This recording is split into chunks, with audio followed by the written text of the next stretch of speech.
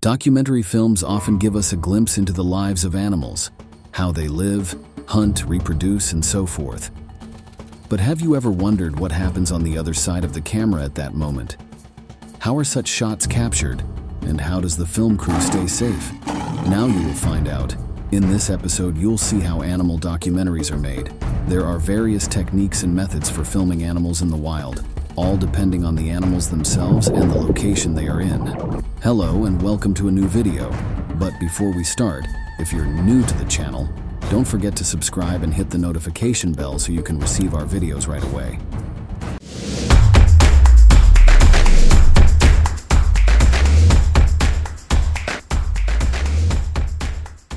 The first method is the simplest yet also the most challenging. Photographers call it close-up shooting. The idea is simple. The photographer gets as close to the animal as possible and shoots without any protection. This technique allows photographers to easily change angles and positions, sitting or lying down to get the shots, utilizing the camera to its fullest efficiency and creativity. It's often used for shooting birds, which can be harmless, predatory, or even large. Not many birds would attack a human, making it effective, it's also used for different animals that are used to humans or don't pose a threat. In this way, various hoofed animals and the more curious ones, like the genet, although predatory, are very small, curious, and not aggressive towards humans. Instead of attacking, they approach the photographers, stare into the lens, or even climb the camera or the photographer to give a performance. Close-up shooting can be combined with camouflage. The essence remains the same. The photographer stays as close to the animals as possible, but might be camouflaged as a sniper or hidden in makeshift hides, which are organically built into the animal's habitat without disturbing them. Protection is essential, but animals are unpredictable, and close-up shooting doesn't always work, especially with African predators, where close-up shooting can be dangerous. The photographer needs protection, often inside a reinforced vehicle. Most shots of lions, cheetahs, hyenas, and other animals are taken from a car, but not just any car. First, it must be sturdy. Second, it must be reinforced against animal attacks. Cameras are usually mounted outside the car, fixed in a way that covers the maximum field of view and provides the best quality, directly operated from the car to prevent image shake using stabilizers. To maintain quality, proper lighting adjustment is essential. Shooting from a protected vehicle is effective but not always possible in places where cars can't enter or it would be too dangerous, like the Arctic. Unlike lions, polar bears aren't used to cars, and shooting from a vehicle might not be an option. People can shoot from a distance or use a protected cage positioned appropriately. The photographer enters and shoots the animals with the camera. Sometimes polar bears attack these cages, but this way people get better shots. This happens sometimes in Africa too, for close-up shots of lions naturally. In this case, the cage or camera can be covered with meat as bait, so the predators come by themselves. Another safer option is to simply leave the cameras in a suitable place and wait. After a day or two, the photographers return, collect the cameras, and review the footage. The advantage is seeing the natural behavior of animals, unaware they are being filmed.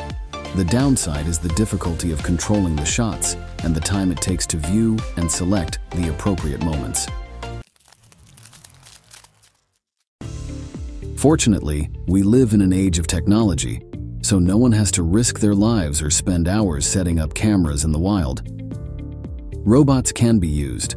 Most modern documentaries are made with their help, including robotic tanks. These are small portable devices with cameras, incredibly durable because no predator can break them. Controlled by humans, they approach dangerous animals quietly and film exciting details of their lives. The main thing is not to scare the animals or make the robot seem threatening. The animals must know it's safe.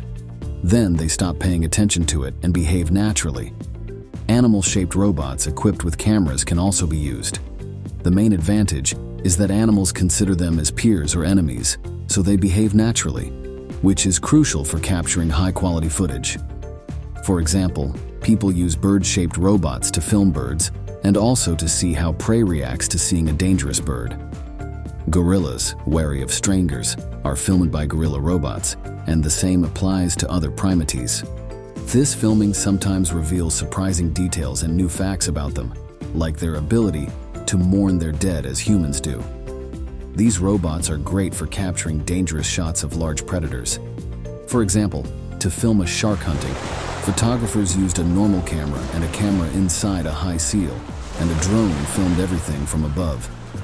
The shark, unaware everything was staged, acted naturally, providing us with fantastic hunting shots. Other methods for filming birds, like GoPro cameras, are used. What? Do you think only humans can film with them? Animals are good at it too. Just find the animal you want to film, attach the camera to it, and let it become a cameraman, or rather, a camera animal. It does all the work, especially effective with birds. No one can rise and fly as beautifully as the bird itself. Shots like these make any documentary better and more impressive, even the most boring ones, and are also used on various predators in the wild. If done carefully and correctly, equipping a cheetah or even a lion with a GoPro can capture shots during hunting, worth a lot. A photographer alone couldn't capture such moments, but sometimes animals can. Big cats, being curious, might steal the camera hidden somewhere and start their own wildlife vlog. Editors sometimes save these shots and add them to the documentary. This way, underwater or semi-underwater life can also be filmed. The principle is the same. Attach the camera to some harmless fish or even a shark and leave it to return with unique footage. Drones have become an integral part of documentaries. All shots from high altitudes, flights, and views of animal herds from above are filmed with their help. It's interesting that in the past, such things were filmed with helicopters, but sometimes it's still done today. However, helicopters are noisy, so it's not profitable to film from them, and they scare the animals, often ruining the shots. Drones are quiet, small, and might not even be noticed by animals, thanks to which we get enjoyable and beautiful footage. This is obvious for wild animals and birds, but what about underwater? There are documentaries about whales, sharks, and unusual fish species. How are they made? Of course, as you think, made by people. A crew member wears a diving suit, grabs a camera, and dives there to film plants and animals. If the sea or river creatures are safe, the photographer diver might not need assistance, but if filming predatory animals, support from above might be necessary to eliminate the threat if something goes wrong. Underwater cages can also be used. You've already seen how polar bears and lions are filmed up close from inside cages. The same principle applies here. These cages are used by regular divers who want to experience new sensations and see marine animals up close, and by photographers with their professional cameras. Of course, other tricks are also used, like filming under ice, sometimes with the help of a special camera placed on some kind of rails in the middle of cracked ice. Shots near the water surface can be captured from a boat or ship, equipped with cameras that can be fixed or rotate only on the horizontal level, or can be more complex, where people can lower them into the water and capture shots directly from the ship's surface without fear of predators. That's the end of the video. If you enjoyed it, don't forget to hit the like button.